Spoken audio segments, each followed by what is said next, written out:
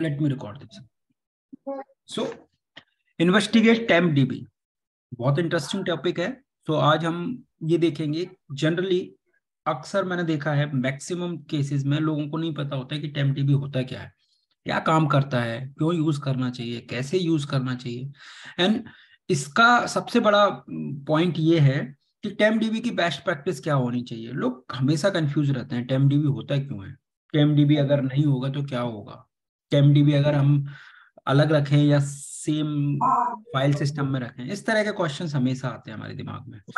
तो ये टेम डीबी का जो कॉन्सेप्ट है मैं रिक्वेस्ट करूँगा बाकी लोगों से प्लीज़ म्यूट कर लो क्योंकि ये बहुत इंपॉर्टेंट टॉपिक है और it will give you really helpful thoughts to design your database in the future please mute your mics please Ankit okay okay so ये इतना इंपॉर्टेंट टॉपिक है, ये आपको एमएस एसक्यूएल में हेल्प नहीं करने वाला ये आपकी फ्यूचर में जितने भी डेटाबेस सिस्टम है, सबके लिए एक अराउंड एक एक थॉट प्रोसेस है। टेम डीबी एक्चुअली क्या होता है, क्यों काम करता है, क्या ज़रूरत है? तो एम एस एसक्यूएल के संदर्भ में बात करूँ तो एम एस एसक्यूएल में हमेशा एक इंस्टेंस पर एक टेम डीबी डेटाबेस होता है। ये पॉसिबल नहीं है कि आप हर एक डेटाबेस का सेपरेट टेम डीबी बना दो।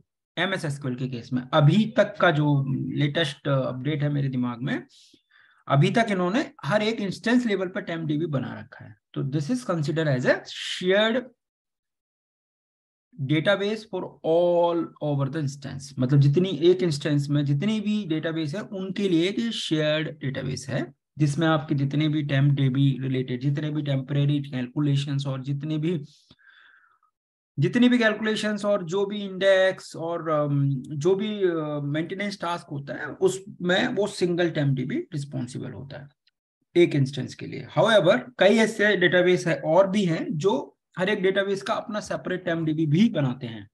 ठीक है? लेकिन एमएस एसक्यूएल के केस में इंस्टेंस पे एक टेम डीबी होता है।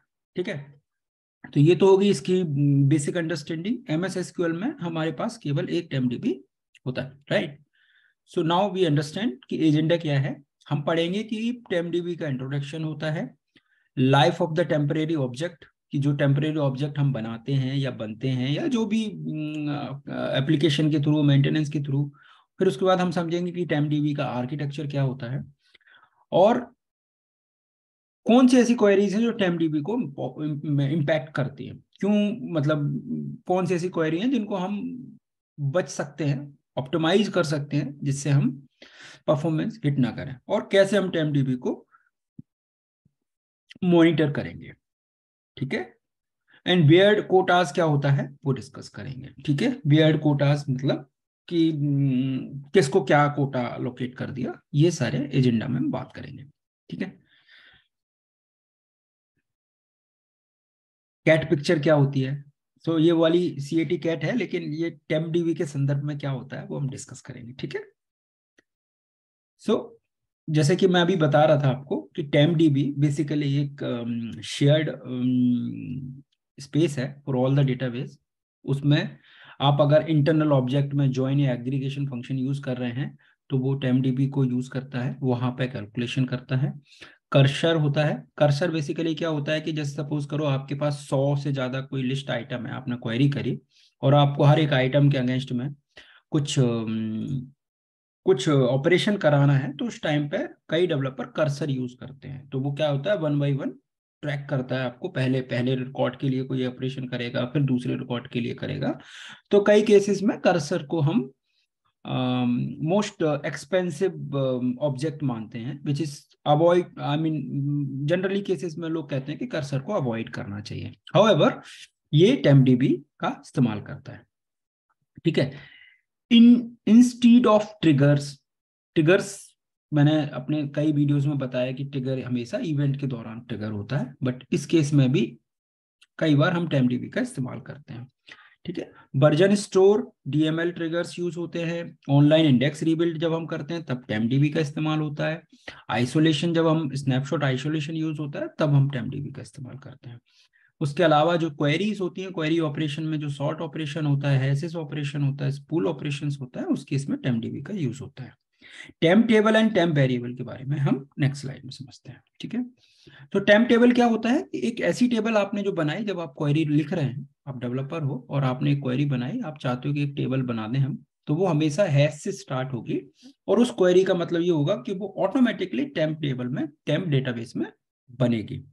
सो so, उसका वो कई बार डिपेंड करता है कि हम उसको एक सेशन के लिए बना रहे हैं, कई बार हम टेबल बना के भूल जाते हैं डेवलपर क्या करते हैं, टेबल बनाए और भूल गए, उन्होंने उसको उसको उसको इस्तेमाल किया और वो ड्रॉप करना भूल गए तो वो टाइम डीबी में रह जाती है। तो इस तरह की क्लीन अप कई बार तब हो पाता है जब हम सर्विस को स्टार्ट करें, रिस्टार्ट करें तो उस केस में ये क्लीन अप हो जाती है टेबल्स। हाउ अगर आप इसको डिलीट नहीं करते तो हो सकता है कि आपकी टेबल वो एग्जिस्ट करती रहे टाइम टेबल में और आपका स्पेस अननेसेसरी भरता रहे।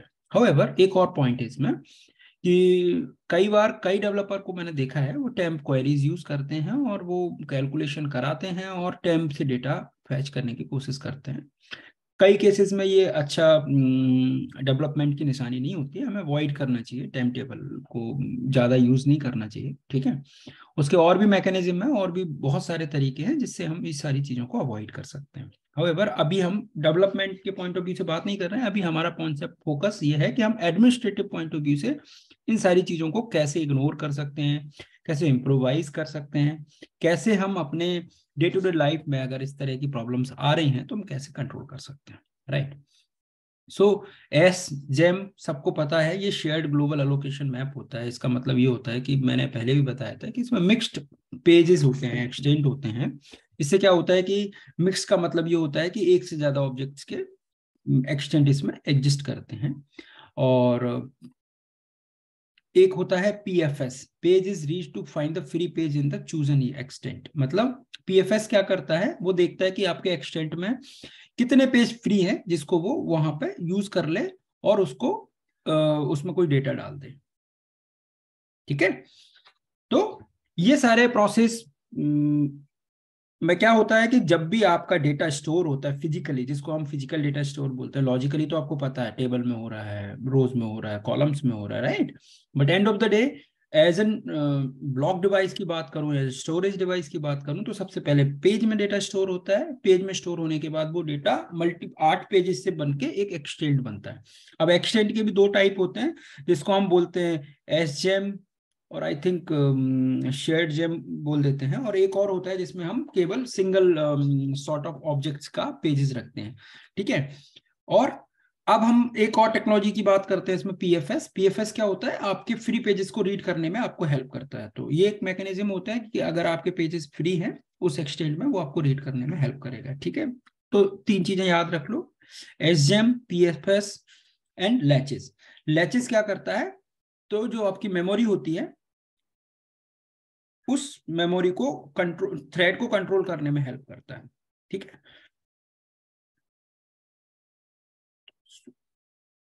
ठीक है?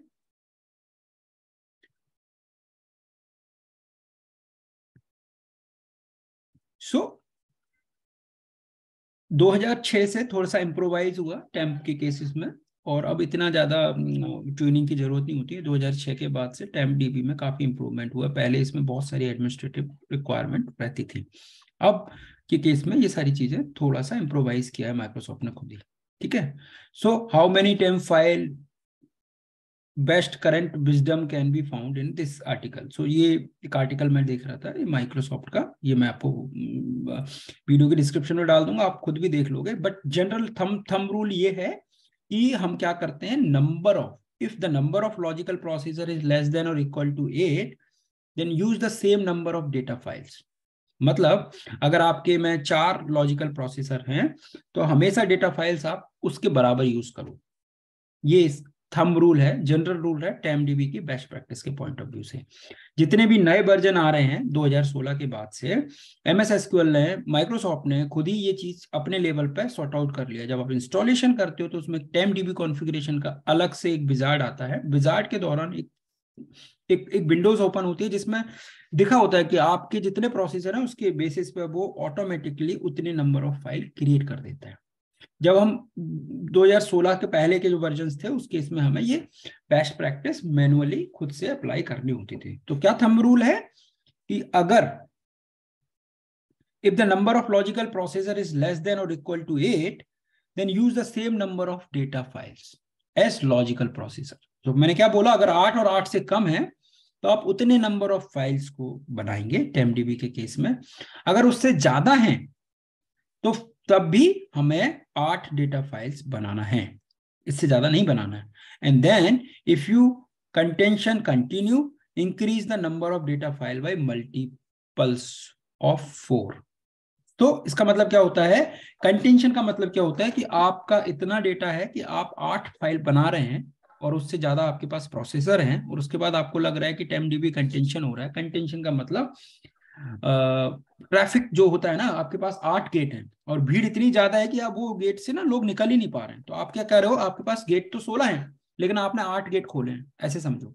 तो अगर आपने आठ गेट खोले और आप कह रहे हैं कि नहीं, भीड़ नहीं निकल पा रही है, हमें आउट करना है इनको, या अंदर जाना है इन लोगों को, इतने ज़्यादा लोग हो गए हैं तो हम क्या कहते हैं कि ठीक ठीक है, फिर आठ के बाद चार और खोल दो। फिर देखो कि कंट्रोल हो रही है चीज़ें लिए तो वो हमेशा मल्टीपल्स ऑफ़ फोर में जाएगा। आई I मीन mean, आपको आपके जो प्रोसेसर्स हैं चार के सीरीज़ में बढ़ाओ उसको ठीक है? Until the contention is reduced to acceptable level to make change to the workload and code. तो अब क्या थम रूल बना? इसी स्लाइड पे खत्म करेंगे हम इस वीडियो को फिर नेक्स्ट वीडियो में डिस्कस करेंगे। थम रूल ये बना कि चार या चार आठ के बीच में अगर हमारे प्रोसेसर्स हैं या मतलब आठ से कम है तो नंबर ऑफ़ प्रोसेसर्स के बेसिस पे ही हमें डेटा फ़ाइल बनानी है। और अगर उससे ज़्यादा है तो भी हम आठ ही फ़ाइल बनाएँगे।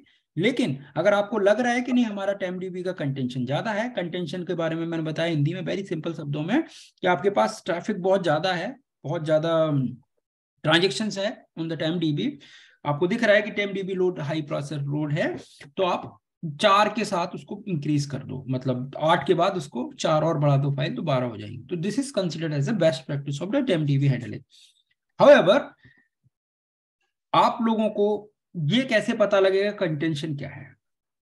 इसके अलावा आपको ये कैसे पता लगेगा कि कितना ट्रैफ़िक है टेम पे कितना सारा लोड है? और और और क्या बेस्ट प्रैक्टिस है टेम डीवी के बारे में वो हम अगले वीडियो में पढ़ेंगे।